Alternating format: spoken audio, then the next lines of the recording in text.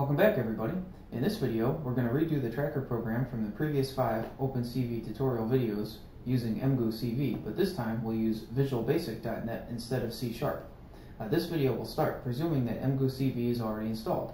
If you haven't had a chance already, please go back and watch the OpenCV tutorial number 5. Uh, this video is going to be very similar to the previous video. The only difference will be that we'll be using the Visual Basic environment and syntax instead of the C Sharp syntax. Uh, for this reason, this is going to be a short video with lots of fast forwarding.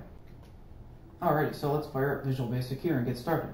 Um, so again, I'm going to start this video presuming that you've already done the installation and set the path variable and uh, everything for Emgu CV. If you haven't, please see the previous video at this time uh, for instructions on that.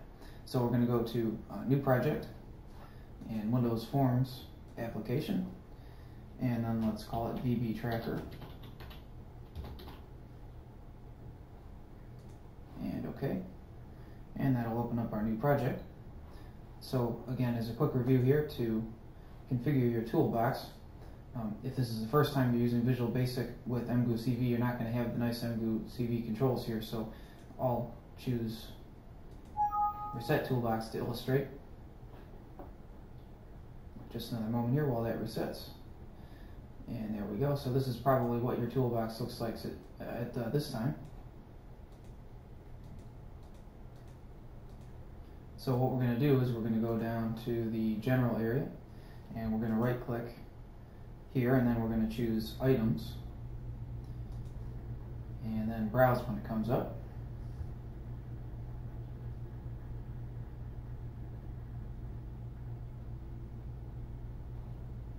And then we're going to go to browse and then C.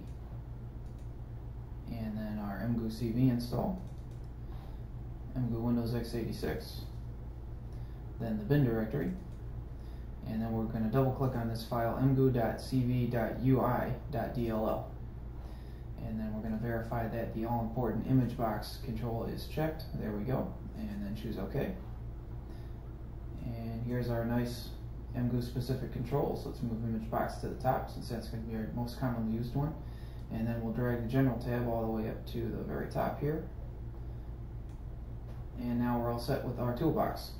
So next let's add our uh, project reference, but first I should mention that again if this is the first time you're using Visual Basic definitely you want to go to tools settings and then make sure you have expert settings checked here otherwise it'll hide a lot of the nice menu options from you.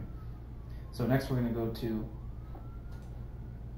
uh, project and then add reference and then we're going to choose browse and then we're going to go back to C here.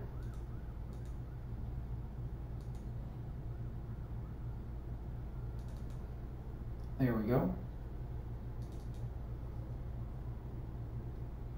C, then Emgu.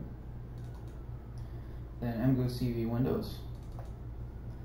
Then bin. And we're going to highlight these eight files here, starting with ending in Visual Studio 2010.dll and ending with Emgu.Util.dll and choose OK. And just a moment here while it brings those in for us. Now, um, by default, the Visual Basic Solution Explorer over here on the left doesn't really show you a whole lot. If you mouse over this item here, Show All Files, and press that, now it's going to show you everything you need to see. So let's expand References, and there we are. Those are the eight references we just added. So now we're going to add our existing items. So we're going to go back to Project and then add existing item. And then we're going to navigate to C, Emgu, Emgu Windows x86, bin, x86 and then we're going to choose all the files. Well, first we have to go down to the bottom right here and choose Show All Files. Then we're going to choose all the files that start OpenCV underscore and end in DLL. And then we're going to choose Add. And just a moment while it adds those. And next we're going to go to the Solution Explorer, highlight those files. And then we're going to go to Properties and then where it says copy to output directory, we're going to change that to copy always. And let's go ahead and save our project. And so we'll call it VB Tracker. That sounds good. Save it to Visual Studio 2010 Programs VB. We can leave create directory for solution unchecked. It'll actually still create a directory for us. This way though, it won't create multiple directories of hierarchy, which we really don't need. That just complicates things. So this is good. So we'll go ahead and choose save. And there we are, all done saving. So let's go ahead and take a look at our project, make sure it's saved okay, and here we are. VB Tracker, here's our project.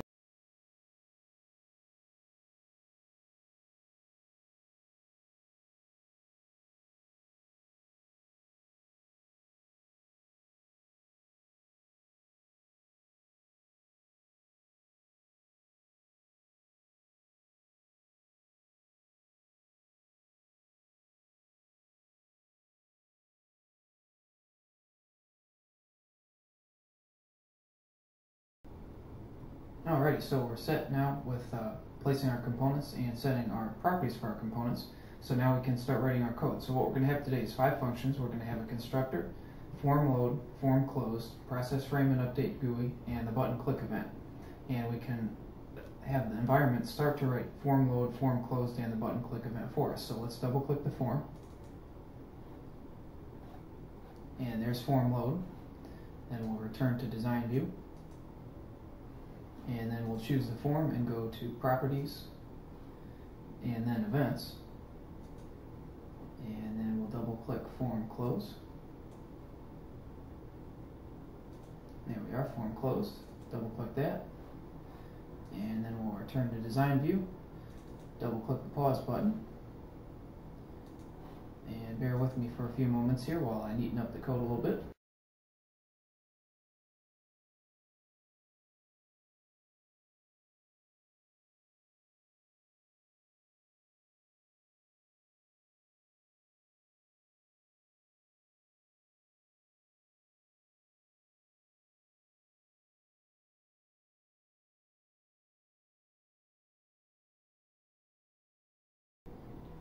Alright, so now we have our five functions all started and our code's kind of set up nice for us. So at this point I'm going to fast forward since uh, really the only difference between the previous video and this video at this point is going to be the Visual Basic syntax versus the C-sharp syntax.